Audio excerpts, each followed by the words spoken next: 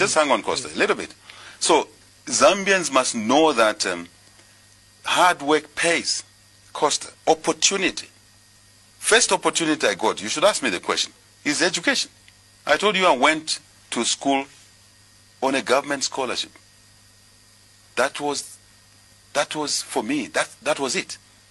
And I wasn't looking for any inheritance from anyone. That was enough. Education I call Costa the best equalizer, the best inheritance. That's why we owe it to our children. From there on, I got a job. Hmm? I wrote my exam, final exam here in this university nearby here. On a Friday, Costa. On a Monday, I had a full-time job.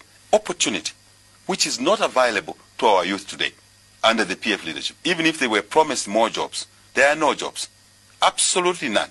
I'm talking of real jobs. I'm not talking of pushing wheelbarrow to move garbage at a street corner, which PF defines. Lots of people have right? criticized the privatization Yeah. process in this country.